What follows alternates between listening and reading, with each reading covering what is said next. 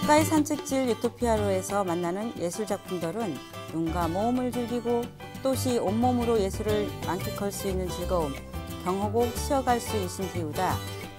작품 번호 27 아트파고라는 주쟁기 터널과 태우를 응용한 예술 쉼터우다. 절에 기울어진 태우의 모습과 종료를 기다리멍 부모를 던정 물개기를 잡던 인날의 어부들이 향수를 느낄 수 있는 작품이다. 구쟁기 모양의 낭터널 속으로 들어가민 편안한 음악이 흘러나와 여행객들이 지친 몸을 어루만져줍니다.